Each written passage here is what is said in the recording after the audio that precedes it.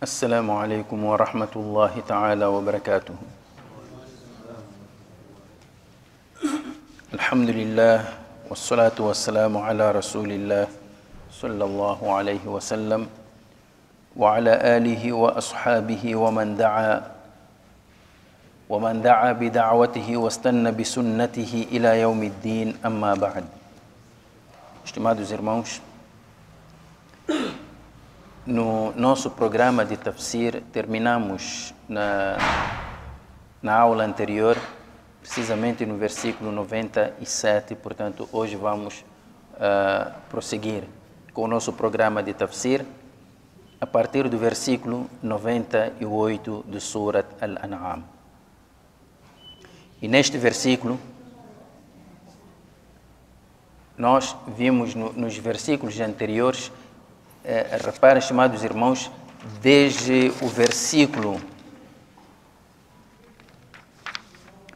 96, onde Allah subhanahu wa ta'ala diz فالق الإصباح وجعل الليل سكنا والشمس والقمر حسبانا ou muito antes deste versículo, versículo 95, Inna Allah faliqul habbi wan nawa. O conjunto destes versículos abordam um tema comum, que é o tema da unicidade de Allah. Allah como único criador, como único sustentador, como único Deus que merece ser adorado. Então, quando Allah quer nos falar da sua unicidade, da sua presença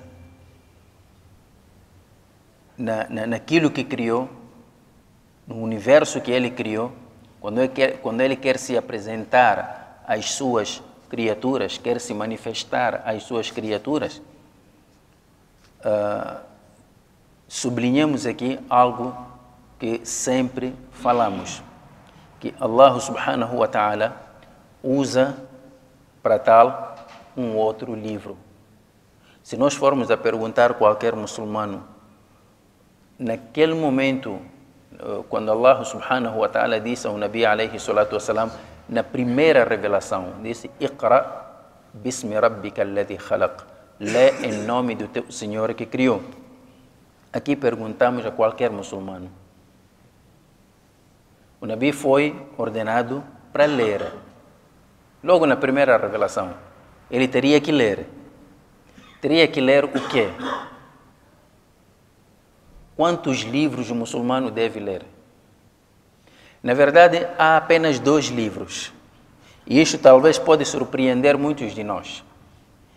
Mas quando voltamos para aqueles primeiros cinco versículos de Surat Al-Alaq, os primeiros cinco versículos que foram revelados, aqui nós encontramos uh, esses dois livros que Allah nos manda para ler. Existe um, um livro revelado que é este Coran, esse todos nós conhecemos. E existe um outro livro que é a natureza que Allah criou. Reparem, voltem só para o Surat. Allah não disse Iqra bismi rabbika la sharika lahu. Não disse isso. Lê em nome do teu Senhor que não tem parceiro nenhum nem disse Iqra bismi rabbika al-ahad. Lê em nome do teu Senhor que é único. Não. Disse bismi rabbika alladhi khalaq. Lê em nome do teu Senhor que criou. O que que ele criou? Ele criou este universo todo, mas aqui nestes versículos destaca a criatura que ocupa o topo na escala da criação. Khalaq al-insana min alaq. Criou o homem de coágulo. Esta é a natureza que nós devemos estudar. Portanto, o estudo da natureza deve nos conduzir ao reconhecimento do Criador dessa natureza e não passarmos a adorar a natureza. A natureza não é objeto de adoração. A natureza é objeto de contemplação. É um livro de leitura que nos faz conhecer Allah. Porque Allah espalhou no universo, espalhou na natureza sinais da sua existência, sinais do seu poder, sinais da sua misericórdia. Tudo isso nós encontramos os sinais espalhados. E estes sinais podem ser percebidos por todas as pessoas, instruídas como não. Pessoas importantes e pessoas ínfimas, ricos e pobres, aqueles que chegaram à universidade ou aqueles que não foram à escola nenhuma. Todos têm a mesma oportunidade e a mesma chance de perceber esses sinais. Agora, estes sinais espalhados no universo indicam-nos apenas a existência do Criador. Agora, como é que vamos nos relacionar com esse Criador? Aí já precisamos da revelação divina que é o Corão. Portanto, os dois livros aqui se complementam. Depois de você conhecer que este universo tem um Criador e que este Criador, ao nos criar, teve um plano e que todos nós estamos a viver mediante esse plano divino. Agora, como é que nós vamos perceber o objetivo pelo qual nós existimos na face da terra? O que é que devemos fazer? Como é que devemos viver? Isso já não cabe a nós, muito menos a um parlamento para votar. Não. Isto precisa de uma intervenção divina. Então, por essa razão, Allah enviou mensageiros, revelou escrituras para guiar o homem. Então, desviamos um pouco aqui o tema para, para, para os primeiros cinco versículos que foram revelados, para voltarmos para uh, esta parte do Surat Al-An'am, dizer que estes versículos todos não fogem do tema do Tawhid, da unicidade de Allah. Vão ao encontro desse objetivo. Portanto, estimados irmãos, quando Allah quer se manifestar às suas criaturas, Ele nos remete à sua própria obra, sendo que o ser humano faz parte desse objeto de estudo. E hoje nós às vezes nos questionamos por que, que grandes cientistas, grandes estudiosos, não são todos, alguns conseguiram, uh, uh, uh, conseguiram perceber, mas a maioria desviou-se. Quanto mais avançam no, no, no conhecimento, mais se desviam. Daí resulta disso estas Uh, tantas teorias que desviaram o homem da senda reta, teorias que vieram que, olha, o homem evoluiu a partir uh, uh, do macaco, teorias da, da, da, da evolução e por aí em diante, que andaram a desviar o homem. Então, pergunta-se, então, por que, que esta gente que conhece tão bem a natureza, os cientistas, não conseguiram se guiar para o caminho certo? O segredo está num ponto. Voltamos para os cinco primeiros versículos que foram revelados do Corão. O que é que Allah diz?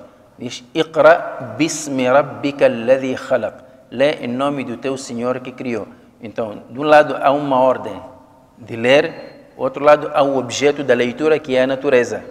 Agora, aqui o elo de ligação é Bismi Rabbik, em nome do teu Senhor. E os cientistas desligaram-se deste ponto, Bismi Rabbik, não estudaram a natureza em nome do, do, do Criador. Estudaram a natureza para progredir na vida mundana. Só isso. Então, quando se desligaram, Bismi Rabbik, desligaram-se desta fonte divina, perderam a essência do conhecimento, perderam a luz. E aí, esse mesmo conhecimento que era suposto que lhes conduzisse ao Criador, desviou-lhes. É só isso. Então, aqui nestes versículos, Allah retoma o mesmo princípio, olhar para a natureza. Nos versículos anteriores, Allah falou-nos falou-nos de, de, de, de, algumas criaturas, o sol, a lua, a noite, falou das estrelas, é? que criou as estrelas para, para nos guiarem nas trevas da terra e do mar. E depois falou de várias outras coisas. Inna Allah faliqul habbi wan nawa. Allah é quem faz germinar a semente quando ela é lançada na terra. Ele é quem faz germinar, não é? Tudo isso no final, no versículo 97 diz: "Qad fassalna al-ayati liqaumin ya'lamun". Assim nós elucidamos os versículos para os sábios, para aqueles que conhecem. No versículo que temos hoje, 98, o objeto do estudo somos nós mesmos. Diz: min nafsin. E foi ele quem vos criou a partir de uma só alma, Adam alayhi salam. Todos nós fomos criados a partir desta alma. Mas depois o que é que aconteceu? É isso que o Corão Karim, no primeiro versículo do Surat An-Nisa, nos revela. يا أيها الناس اتقوا ربكم الذي خلقكم من نفس واحدة وخلق منها زوجها Ó humanos, temei o vosso Senhor que vos criou de uma só alma e da qual criou a sua companheira, Hawa. Agora, destes dois, diz, وَبَثَّ مِنْهُمَا رِجَالًا كَثِيرًا وَنِسَاءً então, destas duas almas, Adam, Hawa, então, começou o processo de procriação e aí surgiram muitos homens e muitas mulheres. Portanto, a espécie humana começa a se expandir a partir destas duas almas. Mas a origem é Adam alayhi salam. E ele foi quem vos criou. Min a partir de uma só alma, que é Adam alaihi salam. Entretanto, famustaqarrun wa mustauda'. Mustaqarrun o que é, mustaudaun o que é. Uh, ambos termos denotam conforto, tranquilidade. É? Tranquilidade dessas quer dizer destas almas algumas estão mustaqarrun, foram estabelecidas no ventre materno, como diz Abdullah ibn Abbas. Wa mustawda'un. Agora, a palavra mustawda'un também são outras almas que foram estabelecidas em outros lugares. Aonde? Aqui os álimos apontam para dois lugares. O primeiro lugar seria quando éramos uh, corpúsculos, quando éramos em forma de corpúsculos e depois passamos para a fase de espermatozoide, quando antes do nosso nascimento, antes do nosso nascimento, quando éramos apenas semente dos nossos pais. Então saímos para a zona de, de, de, de, estabilidade, que é o ventre materno. E daí viemos para este mundo, depois vamos para um outro lugar de Mustaudaun, é o nosso túmulo. Vejam só estes estágios por onde nós passamos. Famustaqarrun wa mustauda. Algumas almas estão nos ventres maternos, estabelecidos lá, e a cada dia nós assistimos ao nascimento de uma criança mustaqar. Mustaudaun, todos os, todos os dias acompanhamos a morte de alguém. Almas nascem e outras se vão embora. E a vida é assim. Mas todos nós viemos de uma só alma, que é de Adam alayhi salam. Reparem, estimados irmãos, nós aqui estamos a falar do ventre materno, estamos a falar do túmulo. Estas não são coisas que nós estamos a ver todos os dias assim a olho nu. Para percebermos estas coisas, às vezes precisamos de um retiro, meditação e contemplação em torno destas coisas, em torno destas realidades. Então, isso precisa de uma perspicácia, precisa de compreensão profunda, precisa de meditação. Por essa razão, o versículo termina dizendo قد فصلنا الآيات لقوم يفقهون Dessa forma, nós elucidamos os versículos para aqueles que raciocinam, aqueles que meditam, para aqueles que são sensatos. Reparem, compara o versículo 97 e o versículo 98, o final de cada um destes versículos. O versículo 97, depois de nos falar da, da noite, do sol, da lua, das estrelas, diz: Aqui depois de nos falar dos estágios por onde passa o ser humano, diz: "Qad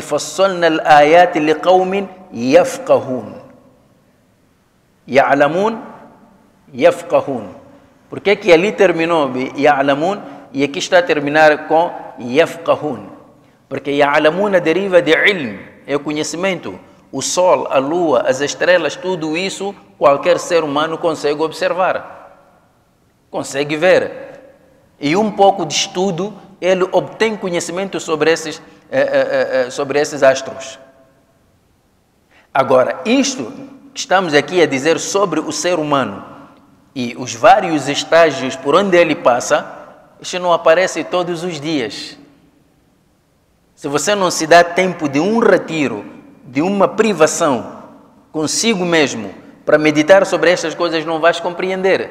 Por isso mesmo terminou.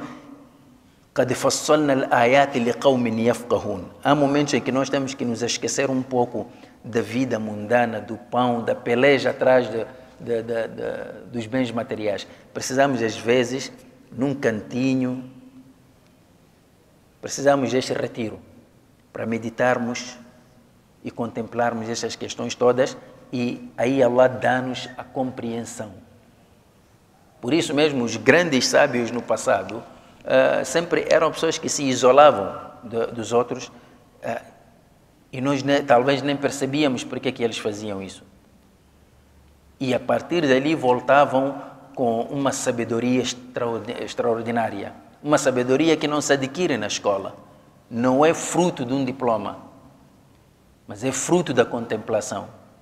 É fruto da experiência. Esta experiência espiritual, experiência neste contato com o Criador. Então aí a sabedoria brota. Então mais adiante, no versículo 99, Allah subhanahu wa ta'ala diz: وهو الذي أنزل من السماء ماء e foi ele quem fez descer do céu água. Esta questão da água também é, é, é, é, quer dizer, é uma outra lição. Nós só pensamos na água quando é para a irrigação dos nossos campos. Qualquer camponês precisa de água. Não é? Queremos água para beber, água para, para dar de beber aos nossos animais, água para irrigar os nossos campos, para aumentar a produção. Só pensamos assim. Nos dias modernos, também precisamos da água para gerar energia. Então, construímos as barragens, tudo mas não conseguimos sentar para contemplar neste ciclo da água no universo. Este processo é? de evaporação e depois a água condensa-se lá na, na, na atmosfera, é? acontece o que acontece depois, volta de novo em forma de precipitação e esta água que atinge o solo, parte desta água serve para o nosso consumo, outra parte é reservada lá no, no, nos lençóis freáticos e por aí em diante, e outra volta para o mar, de novo começa o, o, o ciclo. Uh, e as pessoas não, não, não pensam nisto. Só quando Allah subhanahu wa ta'ala, por causa da, da, nossa iniquidade, retém a chuva, as pessoas já não pensam em, em pedir a ela a chuva, dizem que não, alguém amarrou a chuva. Mas quem, quem é que amarra a chuva? Com que correntes? وهو الذي أنزل من السماء ماء e foi ele que fez descer do céu água. Há um outro processo, estimados irmãos, que às vezes nós não, não, não pensamos nesta questão da água. Segundo as teorias dos cientistas, eh, eh, eles nos revelam uma coisa, aqueles que estudam eh, a Terra, enfim, dizem que no início da criação da, da, da, da Terra, a crosta terrestre estava toda ela inflamada. Então levou milhares de anos até que se solidificou, mas ainda não tinha solo adequado para o cultivo. Então, por causa da chuva que caía e depois, e através do, do, do das centelhas, de, de, dos relâmpagos e trovões que caíam, então libertavam também o nitrogênio. E este nitrogênio, ao atingir o solo, portanto, esta combinação do nitrogênio com a água tornava cada vez mais o solo macio. E aí Allah criava uh, uma terra própria para se cultivar. Entretanto, este processo acaba, uh, acaba trazendo um outro benefício. É, é, é, exatamente dentro deste processo que o ser humano aprendeu uh, a produzir uh, os adubos.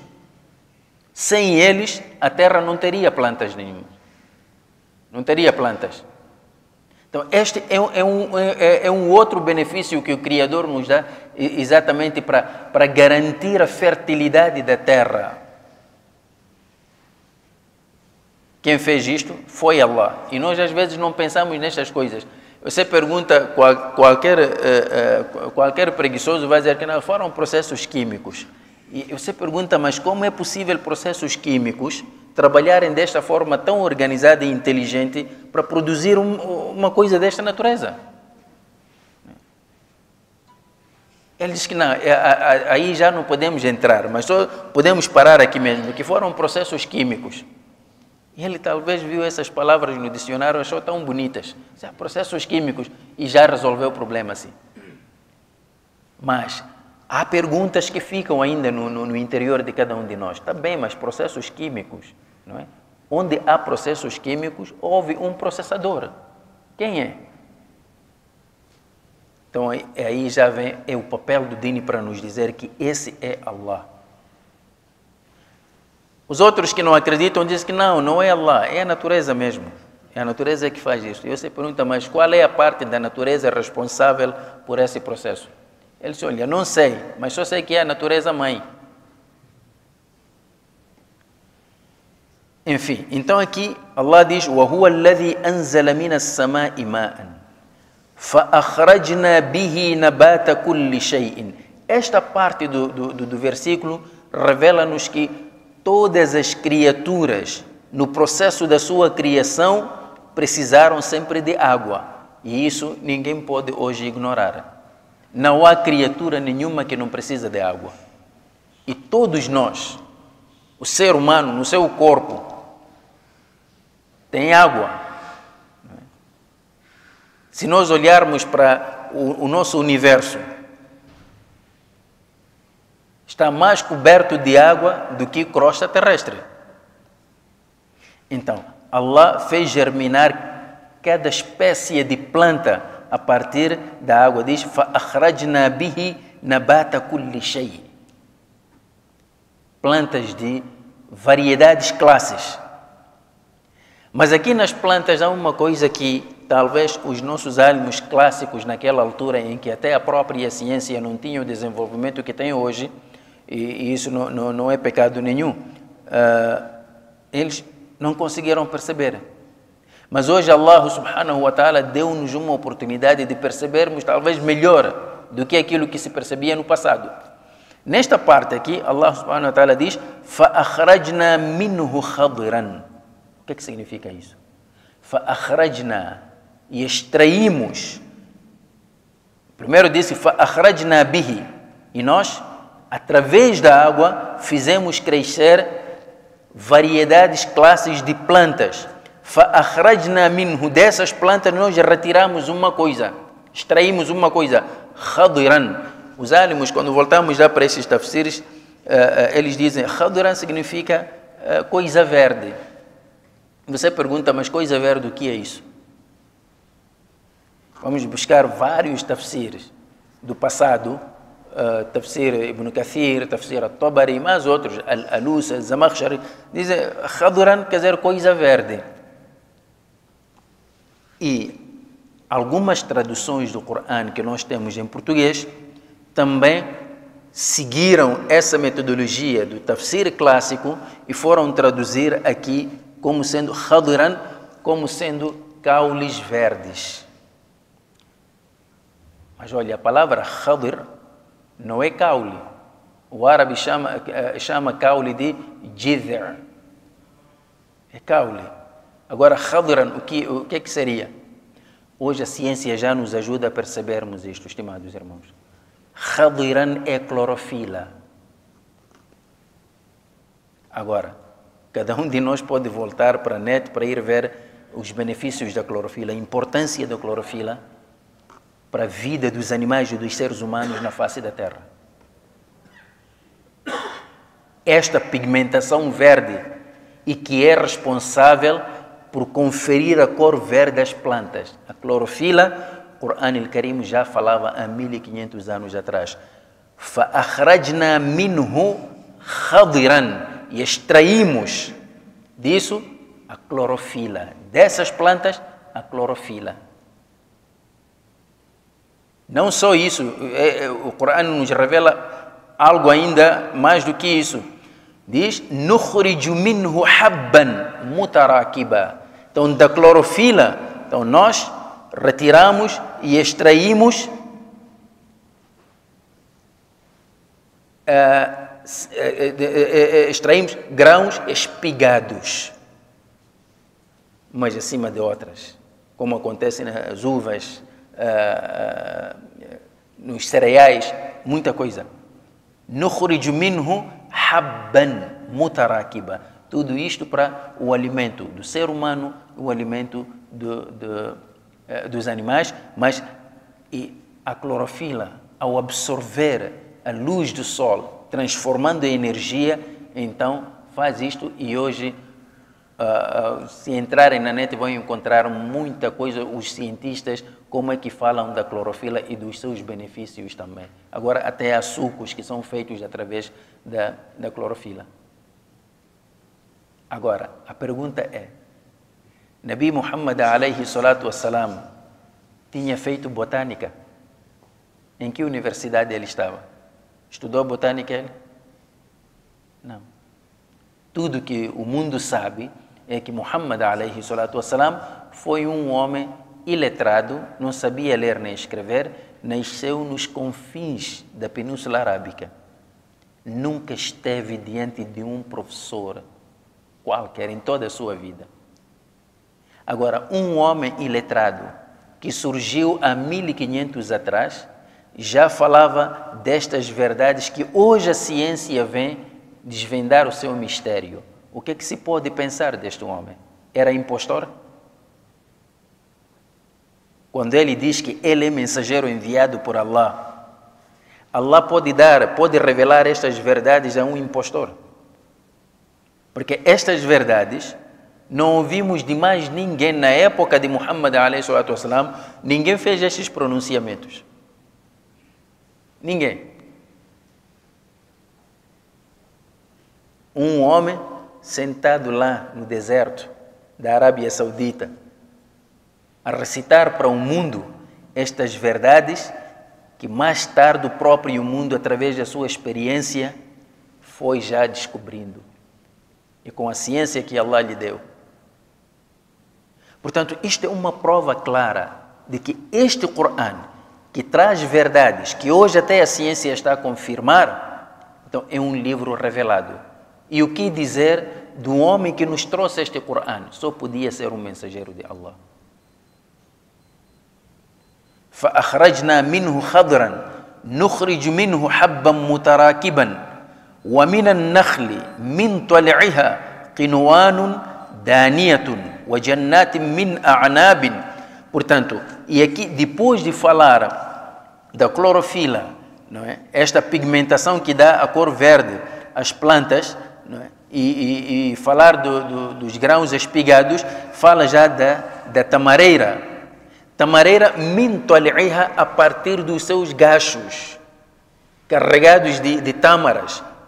E depois, quinoanum dania. Portanto, estão todos estes ao alcance da mão humana. O que é que esta parte aqui quer nos revelar, estimados irmãos? é que nós não criamos isto, não há nenhuma força na natureza que cria isto. Allah faz, o homem sim limpa a terra, lança a semente e deixa. O resto quem faz é Allah e depois Allah coloca eh, eh, estes frutos todos ao alcance do ser humano. Só que o ser humano, em vez de, de se mostrar grato não é, para com o seu Senhor, então ele quando vê toda esta riqueza, ele pensa que é resultado do seu trabalho, porque ele pegou na enxada, lavrou a terra e lançou a semente. Então, isto que está a germinar agora é fruto daquele trabalho dele. Não percebe que aquilo não é fruto do seu trabalho, porque Allah poderia fazer germinar isso sem a intervenção do ser humano, como acontece com muitas outras plantas. Mas Allah subhanahu wa ta'ala no mundo vegetal não só nos dá os alimentos para o nosso sustento, como também nos dá uma farmácia completa, onde você não é exigido receita nenhuma. Os medicamentos que nós hoje usamos e ingerimos, de onde é que vem? Vem desta farmácia natural, vem destas plantas. Já viram, estimados irmãos? É isto. É por esta razão que muitos outros povos desenvolveram uh, vários tipos de medicina. Nós só conhecemos um tipo. E quando aquele tipo que nós conhecemos falha, para nós o mundo já acabou. Quer dizer, se você vai hoje ao hospital e o médico diz que, olha, não temos cura para o senhor, ele simplesmente volta para casa já resignado e diz, olha, se o médico diz que não tem nada mais a fazer comigo, então só Malakul Maut é que pode me solucionar. Então fica ali à espera do Malakul Maut. Mas outros povos, vamos ver como os chineses, os indianos, desenvolveram outros tipos de medicina. O próprio Nabi alayhi salatu wassalam usou largamente aquela medicina chamada homeopática, em que ele usava os alimentos como medicamentos. E a vantagem é que um alimento, se não serve para saciar a fome, vai servir de medicamento. É por isso que o Nabi wassalam falou de certas plantas como a abóbora, por exemplo, a tâmara, falou de, de, de, de várias plantas né, que o Nabi usava. E alguns álimos também foram buscar esses hadiths do Nabi salam, que falam de certas plantas, das suas propriedades, e a partir daí desenvolveram. Então, o que significa que nós muçulmanos temos um campo vasto do nosso dine para uh, uh, inovarmos. Inovar no sentido de que uh, o Corão dá-nos a indicação e nós então, temos que caminhar à luz dessas indicações. Então, min tal'iha qinwanun, dânia próxima ao alcance do homem, wa jannatin e jardins, min a'nabin, de oliveiras, wa zaitun e azeitonas, wa rumman e romazeiras, mustabihan wa ghayra mutashabih.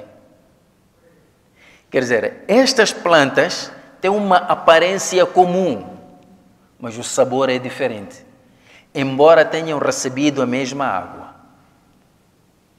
É por isso que o Corão fala de várias regiões, diferentes tipos de regiões de, de, na, na, na, Terra. Né? Portanto, as plantas recebem a mesma água, mas cada espécie tem o seu próprio sabor, tem a sua própria época mustabihan wa ghayra mutashabih. Portanto, são aparentemente são iguais, mas diferem no sabor, no tamanho, não é?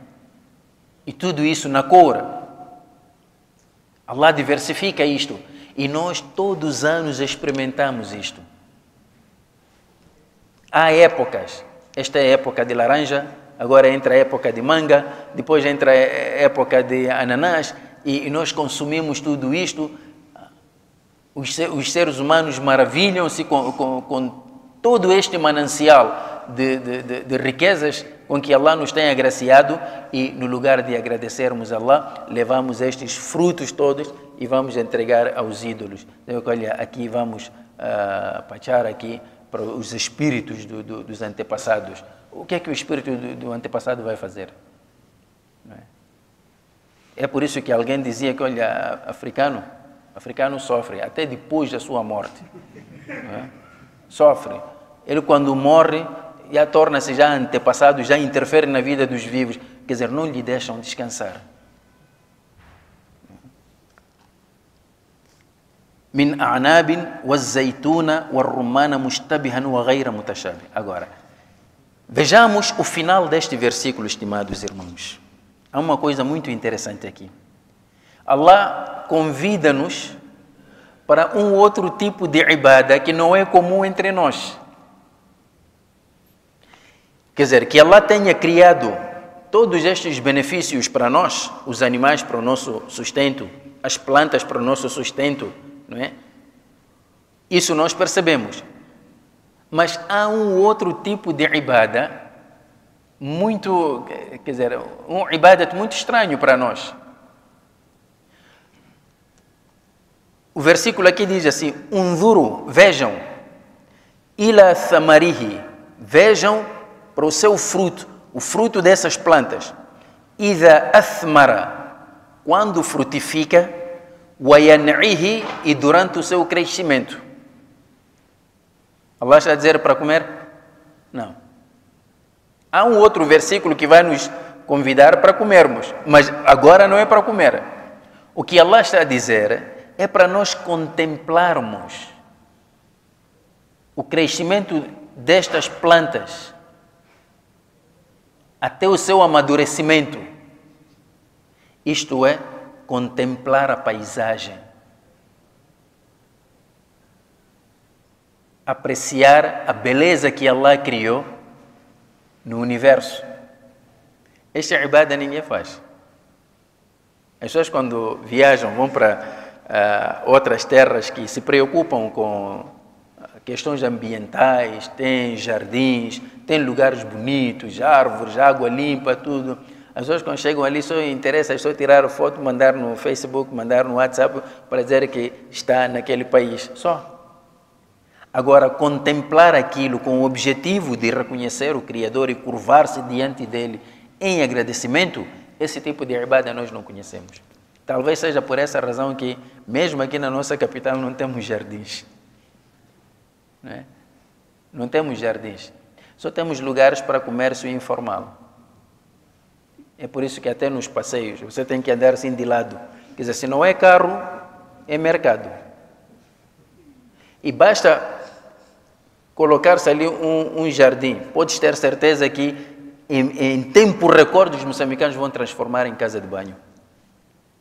Ou no lugar de bandidagem. Quer dizer, não sei o que é que se passa conosco.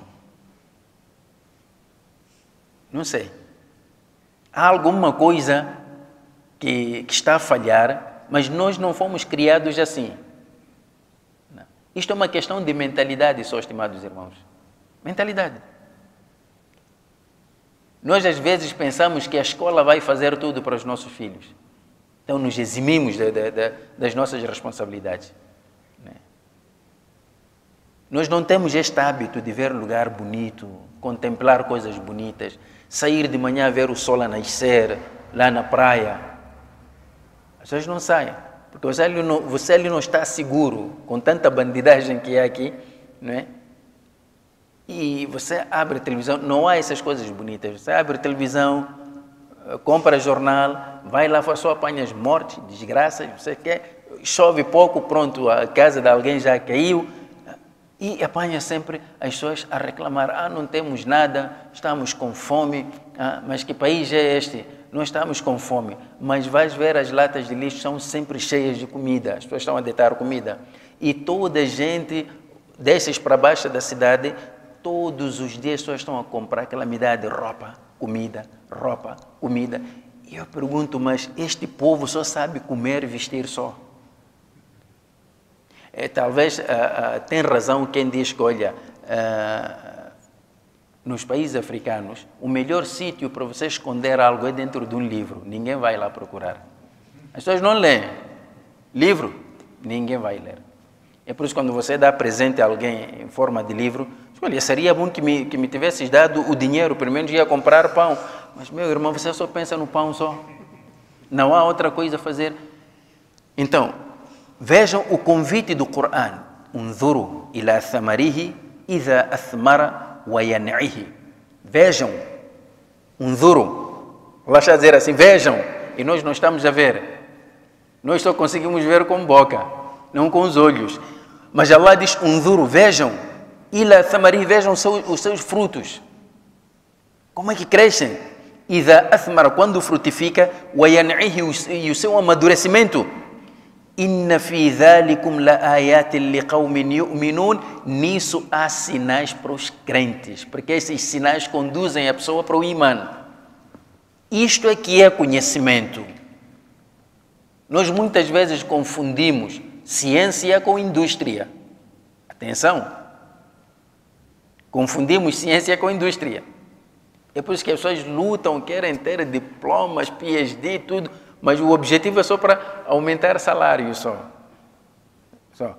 Não é para conhecer. Conhecer, não, não, não, não.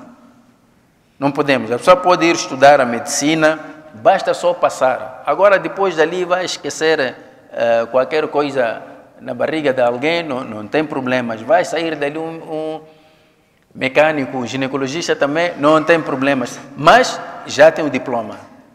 Isto é um problema grave. Não é questão de políticas, não é questão de pobreza, nem riqueza, é pobreza mental. Nós temos que mudar as nossas mentalidades.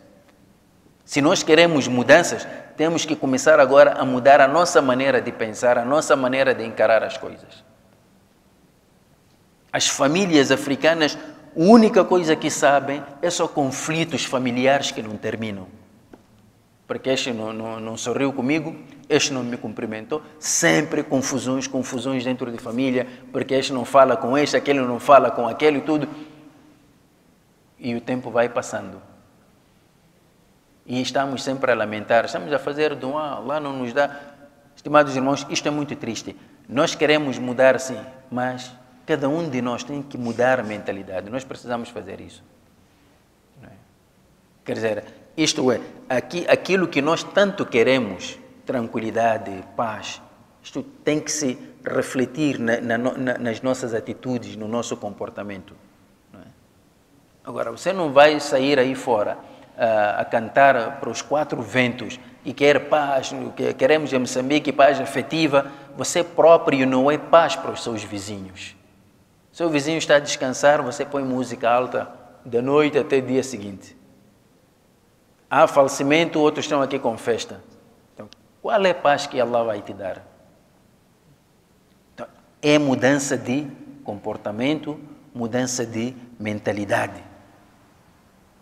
As pessoas dizem, olha, afinal você tem tantos livros, depois que vais comer esses livros? Que as pessoas não gostam de ler, não gostam. Inna fi dhalikum la ayatin liqaumin yu'minun.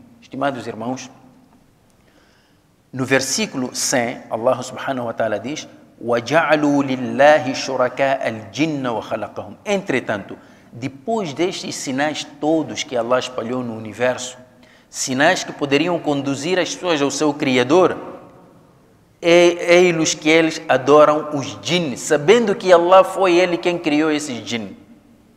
Esses espíritos dos antepassados, o que é? São jinnes. Porque ser humano nenhum volta depois de morrer.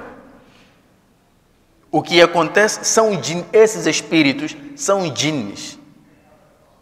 Criaturas feitas de fogo que vêm atormentar o ser humano e porque ele pode se transformar em qualquer forma de escolha. Eu sou o teu avô que morreu há mil anos, ainda estou a ver aqui.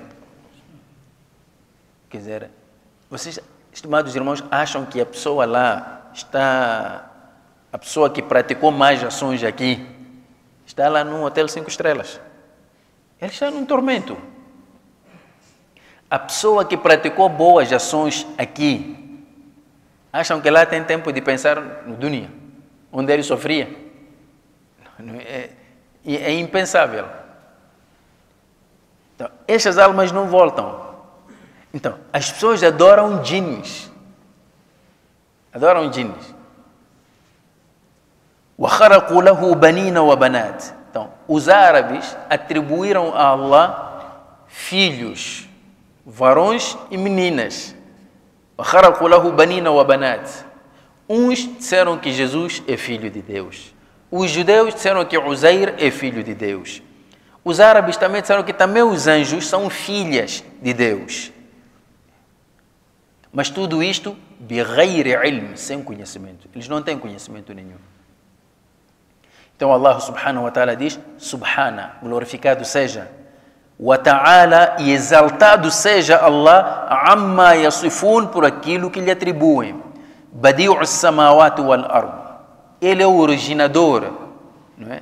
dos céus e da terra. Anna yakunu lahu walad. Como é que ele poderia ter filho? Walam lahu sahiba, se jamais teve companheira. Dizem que Allah tem filho. Alguém esteve no nikah? Se para ter filho tem, tem, tem que ter uma esposa. E é o que Allah está a dizer aqui. Anna yakunu lahu walad. Como é que ele pode ter um filho? Como é que ele pode ter gerado um filho? Walam takun lahu sahiba, se jamais teve companheira. Então, você quando diz que Maria é mãe de Jesus, entretanto, diz Deus é pai de Jesus. O que, é que estás a dizer? Que entre Maria e Deus houve alguma química. Alguém pode dizer isto? A verdade é que Allah criou todas as coisas, incluindo Maria, Jesus, Uzair, os anjos, são todos criaturas de Allah subhanahu wa ta'ala. وَهُوَ بِكُلِّ شَيْءٍ عَلِيمٍ E Ele é conhecedor de todas as coisas. Estimados irmãos, para que, é que o ser humano precisa de filho? É para lhe complementar, para garantir a sua continuidade depois da sua morte. É sinal de fraqueza. Allah não é fraco. Allah não precisa de quem possa dar continuidade à sua, à sua essência depois da sua morte. Allah está sempre presente. Ele não morre. Allah não é fraco. Então vai precisar de filho para quê? Essas são nossas analogias, nós como seres humanos. É por isso que Allah diz: Allahu Rabbukum. Esse é Allah, vosso Senhor. La ilaha illa huwa. Não há outra divindade além dele. Khaliqu kulli shay. Ele é o Criador de todas as coisas. Fa'abudu. Portanto, adorai-o como tal. Este é o único Deus que merece ser adorado. Wa ala kulli shay'in wakil, portanto, Ele é o protetor de todas as coisas. Portanto, Allah é o Criador, é o protetor, é o sapientíssimo. Portanto, Ele não precisa de uh, ter, ter filhos, ter esposa. E, além do mais, Ele diz: La tudrikuhul absar wa huwa yudrikul absar wa huwa al-latiful khabir. La tudrikuhul absor. Allah não é concebido pela percepção do, uh, humana. A percepção humana não consegue, é incapaz de abarcar Allah na sua totalidade. La tudrikuhu al-absar.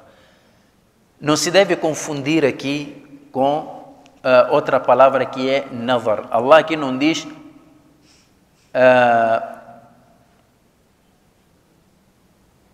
diz aqui la tudrikuhu al-absar.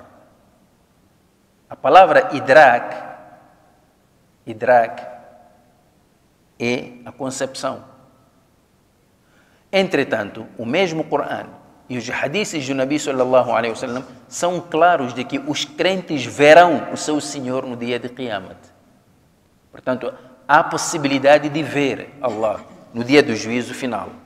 Há umas correntes aí é, é, que negam, dizem que não, Allah é maior para ser visto.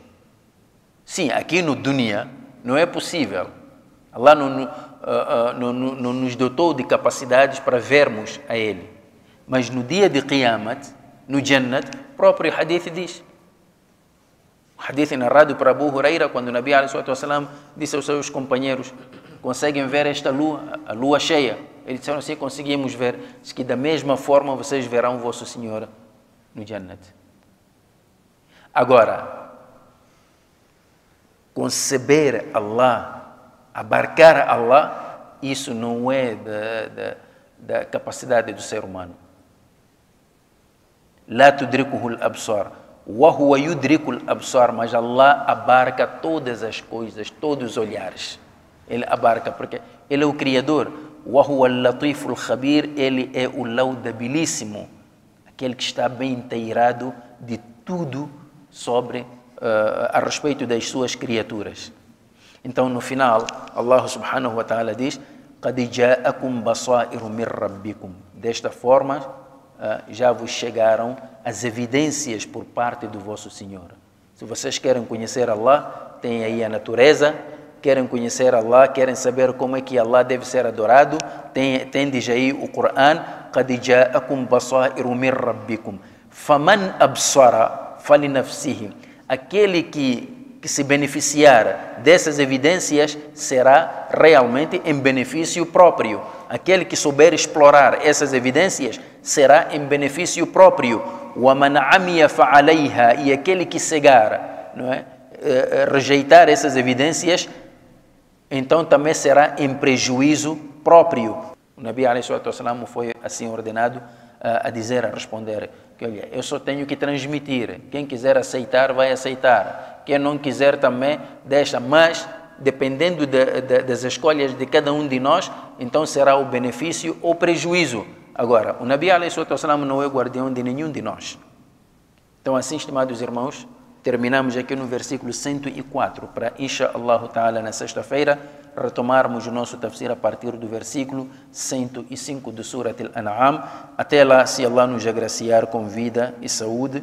Jazakumullahu khairan. Wassalamu alaikum wa rahmatullahi ta'ala wa barakatuh.